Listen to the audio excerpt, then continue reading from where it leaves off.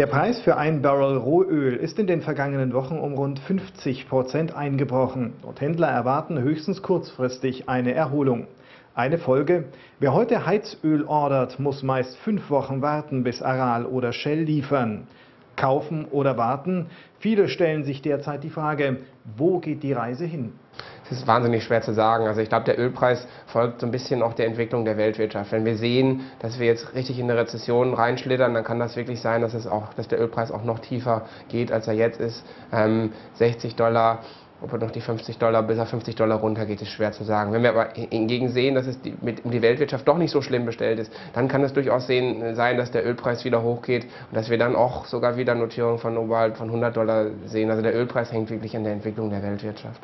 Die OPEC hat eine Kürzung der Produktion äh, angekündigt. Wird das Auswirkungen haben auf den Ölpreis? Es hat jetzt eigentlich schon Auswirkungen gehabt. Also wir waren schon bei, ich glaube, 64, 65 Dollar und jetzt gehen wir, nähern wir uns schon wieder den 75 Dollar. Also das hat sicher eine Auswirkung. Ganz einfach Gesetze von Angebot und Nachfrage. Es wird dann weniger Angebot da sein ähm, bei, ich sag mal, dann doch gleichbleibender Nachfrage und dann steigt halt der Preis.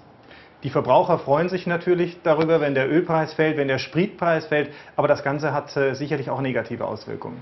Ich glaube, das ist eine, ähm, eine, eine, kurzfristige Freude. Also wir zahlen jetzt vielleicht 20 Cent pro Liter weniger für den Liter Benzin, aber die Gefahr ist, dass jetzt die Ölkonzerne, die jetzt gerade begonnen haben zu investieren und neue Felder zu erschließen, möglicherweise teure Felder zu erschließen in mehrere tausend Metern Tiefe unter dem Meer, das kostet ja viel, viel Geld. Und die wollen natürlich dann auch einen Return haben, eine Renditeeinkünfte. Und dass die jetzt sagen, ähm, wir machen das jetzt dann doch lieber nicht, wenn der Preis jetzt so fällt, das kann den Ölmarkt auf Dauer in eine ganz, ganz heikle Situation bringen.